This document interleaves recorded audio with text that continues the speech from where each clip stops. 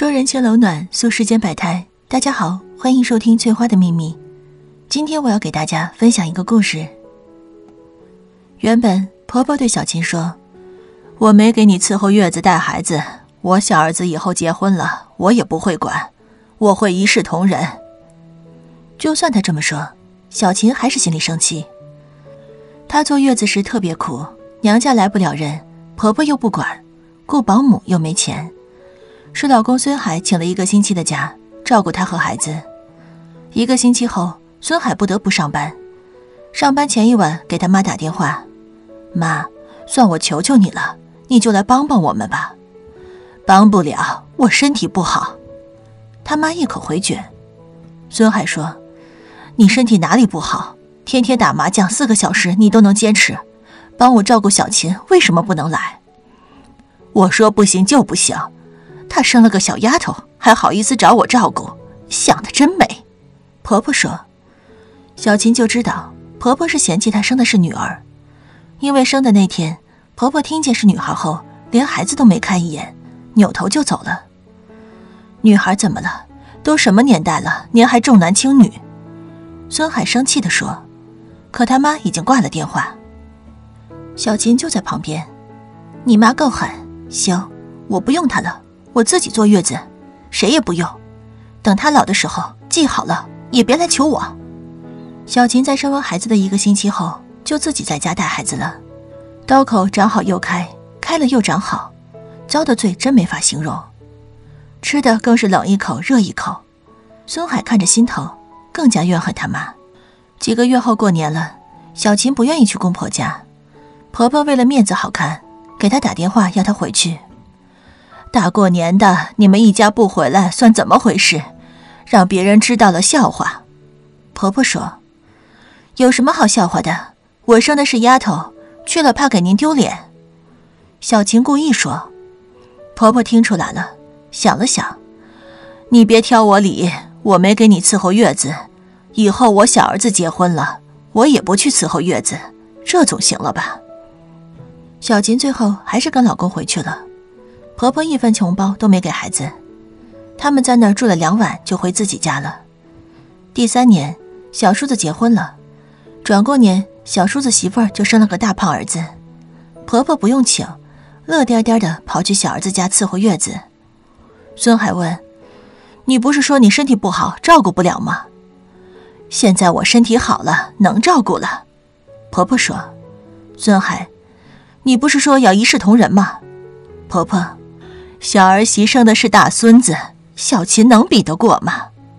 行，你就对你小儿子、小儿媳好吧。等你老了需要人了，也别打我们的主意。孙海气愤地说：“我压根儿就没指望过你们。我有小儿子，还有大孙子，我现在为他们出力，以后他们肯定也会管我的。”婆婆得意地说。小琴心想：“那就走着瞧吧。”小叔子媳妇儿可不是一般人，厉害着呢。小琴不信将来婆婆能指望上她。在过年的时候，小琴一家三口回公婆家，婆婆只给孙子红包，不给孙女儿。公公看不过去，要给，但小琴说啥也不要。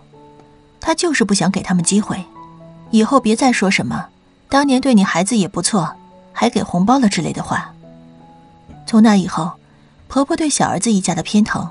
更是不背着小琴了，有好吃的也给他们留着，过节放假都给钱，而且还一直帮小儿子带孩子到小学毕业，真是尽心尽力的付出。小琴一家跟他们渐渐疏远了，除了过年，平常根本不见面，眼不见心不烦，倒也静心。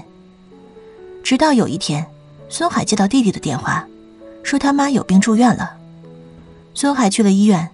小琴把孩子一个人留在家里，也跟着去了。婆婆这时候已经六十岁了，六十岁不算老，但现在她的身体大不如以前，看着就像七十多岁似的。小琴知道，这都是给小叔子家操劳的结果。大哥，妈最少要住一个月院，得有人照顾才行。小叔子说，小媳妇儿则一言不发，站在旁边看着。孙海说：“那你们就照顾吧。”妈这十几年来一直给你们家帮忙了，现在也该你们付出了。我知道妈这些年为我家帮了不少忙，我们也不是不愿意管，但我们俩工作都太忙了，一天假也请不了。小叔子说：“那你们就给妈雇护工吧。”孙海说：“护工全天的太贵，一个月得不少钱，光靠我们可不行。要不大哥，咱两家平摊吧。”小叔子说。孙海看了小琴一眼，小琴的神情已经说明了一切，她是不愿意的。妈一天都没给我们帮过忙，也没给我们花过一分钱，为什么找我们平摊？你们雇不起全天的护工，就光顾半天的，晚上你们两口子轮流来照顾。孙海说：“我家孩子明年要初中了，我们得在家盯着他学习，晚上来不了。”小叔子说：“小琴算是听明白了，合着小叔子一门心思非要拉上大哥大嫂不可，他也不忍了。”你别找借口，老太太帮了谁家，现在就由谁家管。当年我就已经说清楚了，她自己也说过，不指望我们。大嫂，你可不能瞎说呀，我咋不知道这回事呢？小叔媳妇说道。不信你们问老太太。小琴说。于是小儿子就问起老太太，婆婆在那儿躺着，样子挺狼狈，无奈的点点头。我是说过。我们不同意，小儿媳马上不愿意了。你有两个儿子，都一样有义务，不能单靠我们一家。他们要是不愿意管，我们也不管了。你们爱管不管，我们来看看，都已经给足面子了。孙海，咱们走。小琴拉着孙海走了，但第二天，小叔子就给他们打电话了。白天护工的钱他们可以自己出，但晚上他们不能自己看护。昨天他已经看护了一夜，今晚该轮到大哥了。如果大哥不去，他们也不去了，就让老妈自己留在医院好了。孙海还是硬气的说不去，但到了傍晚，护工给他打电话，说他要下班了，让他快点来。孙海给弟弟打电话，弟弟不接，无奈，他只能去照顾了一夜。毕竟是他亲妈，他生气也不能真不管。这天开始。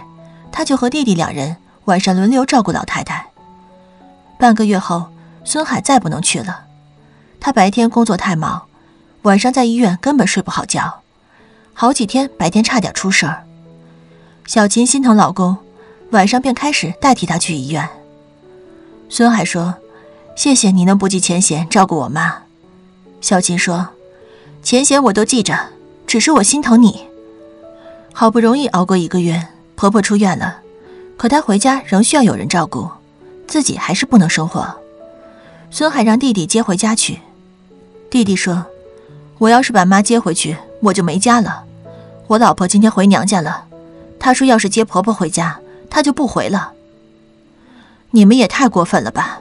妈要不是给你们操劳十几年，也不会病倒。现在你们想推开不管了。”孙海很生气。我老婆不同意，我有什么办法？再说了，妈又不是我一个人的，你也有义务。弟弟说：“小儿子不管，小儿媳直接跑回娘家了。那个婆婆一直口口声声的大孙子，更是一个月都没露一面。”孙海问老妈：“你看到了吧？这就是你偏心的人。”老太太默不作声，流着泪。大哥大嫂，要不还是把妈接你们家去吧，我实在不行。小叔子说：“我们也不行，要是敢接回去，我也回娘家。”小琴说：“别以为只有你老婆厉害。”小琴说完就走了。孙海这次走不了了，今天就出院，不把老太太安置好，他也不放心呐。兄弟俩又商量半天，最后决定，孙海把老太太接回去，弟弟一个月拿两千块钱，作为给大嫂的辛苦费。孙海又给小琴打电话商量。小琴当然不愿意，但架不住孙海哀求，我也不能眼看着我妈没人管啊，你就当是帮我吧。小琴生气，但也不能不答应。就这样，婆婆晚年还是去了大儿子家。去的第一天，孙海就说：“你现在看明白了吧？你这十几年是怎么对我们的？现在还不是小琴来照顾你吗？你装在心里的小儿子和大孙子。”他们根本就不愿意管您。小琴，妈错了，妈给你道歉，谢谢你能让我来。婆婆对小琴说：“婆婆的退休金一个月两千五，也都交给了小琴，她的药费和生活费以后都由小琴负责了。小叔子家给了两个月两千，第三个月说是手头紧，过几天再给，结果一直不给了。孙海打电话要过几次，为了照顾妈。”你大嫂把工作都辞了，你现在连两千都不出，是不是太过分了？大哥，妈的工资不是给你们花了吗？我们也没说过什么呀。小叔子说：“妈一个月吃药和补品，她的钱够她自己用就不错了，别说的好像我们占了便宜似的。”孙海气愤地说。小叔子没话可说，但钱还是不出，要的急了就哭诉。说他家钱都是老婆管着，他实在没办法。孙海和小琴很生气，但也要不出一分钱。他们把这事儿跟老太太说，老太太虽然嘴上说小儿子小儿媳太坏了，但心里其实还是惦记的。过年的时候，小叔子一家三口来看老太太，老太太居然摸索出一个红包要给大孙子，小琴就在旁边看着，大孙子嫌少没接。婆婆又要给孙女儿，小琴说：“我女儿不要，我们不缺你这两百块钱。”小叔子一家没待上半个小时就走了，老太太眼睛一直盯着孙子，奈何孙子现在都不愿意多看他一眼，更不愿意靠近他和他说说话。倒是小琴的女儿，每天放学回家都主动帮妈妈照顾奶奶。婆婆一直在大儿子家住了五年，这五年。都是小琴在照顾他衣食生活。小琴曾问过孙海：“你妈的身体现在已经可以一个人生活了，为什么还要住在咱家？”孙海说：“有件事儿我跟你说，你不要生气。其实前年的时候，妈曾悄悄跟我说过，她在咱家住得很好，所以不想再回去了，想一直在咱家养老。你答应了？”小琴问。她是我妈，年纪大了。老房子又小又破，一个人住我也不放心，所以我就答应了。孙海说：“那你为什么一直没跟我说？”小晴问。“我怕你不同意。”孙海说。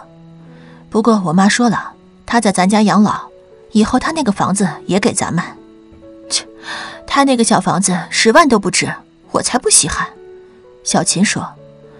以前孙海确实对他妈有意见。但这几年一起生活，他心里的怨恨已经减少许多了。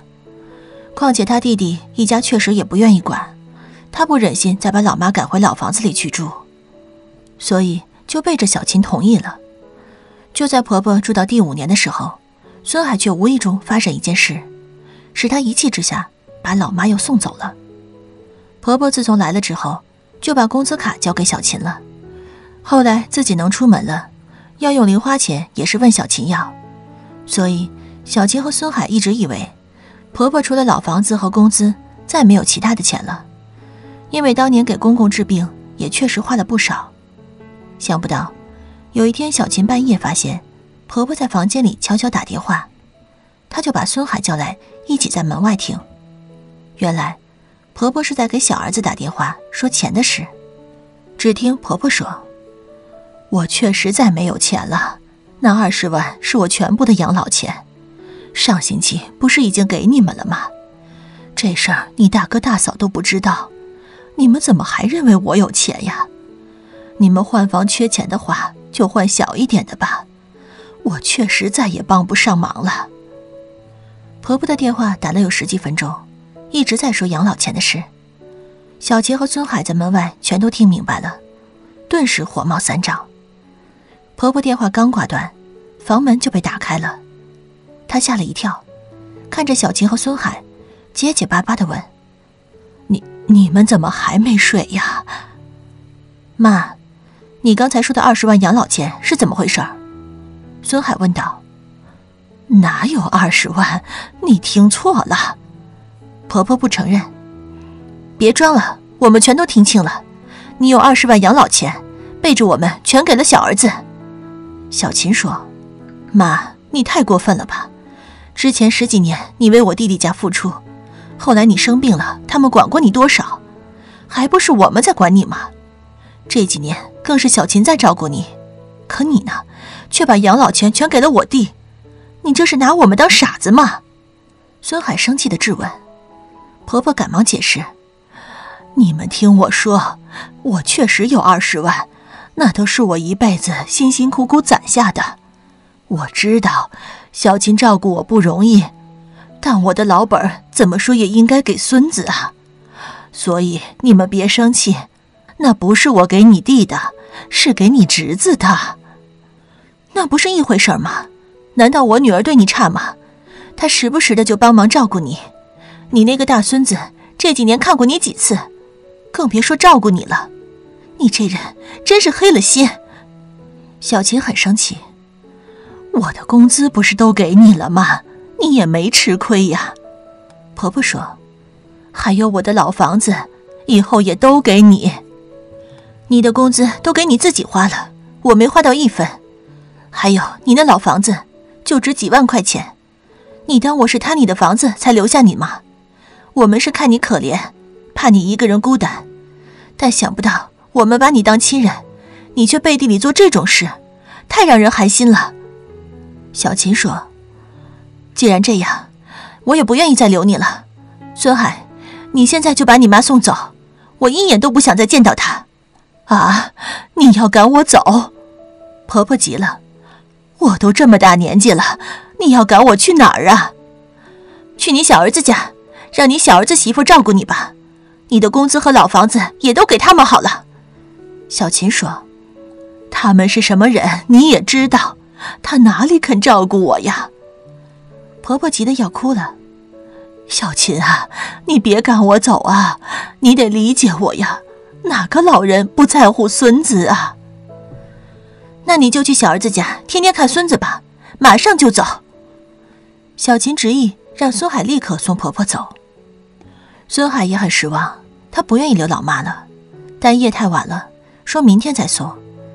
婆婆这一夜都没睡，心里太害怕了。第二天吃完早饭，小杰和孙海就把他的东西都收拾好了。孙海开车把他送到弟弟家。弟弟和弟媳妇一听老妈来了，连门都不开。孙海也不管，直接把老妈放在弟弟家门口，又按了几声门铃就走了。小儿子不得不把老妈领进门来，但小儿媳大吵大闹，说他照顾不了，让小儿子马上把老太太送走。大儿子不管，小儿子也不留。后来，老太太只能又回到自己的老房子，一个人生活。她虽然可以自己做饭，但太孤单了。本来小儿子一家就不愿意看她，现在大儿子一家也不闻不问了。她天天一个人在老房子里，心里空得慌。有心想请个保姆，可钱又不够，也给大儿子打过电话，请求再接他回去，但大儿子说什么也不愿意了。好了，今天的故事就到这里。如果您有喜欢的故事，记得在视频下方留言，我们会尽力满足您的需求。期待下次与您的分享。最后想跟大家说，现在翠花已经正式开通了 Facebook，点击说明里的链接关注。就可以私信给我了。翠花非常期待与大家的互动，在这里，你永远不会孤单。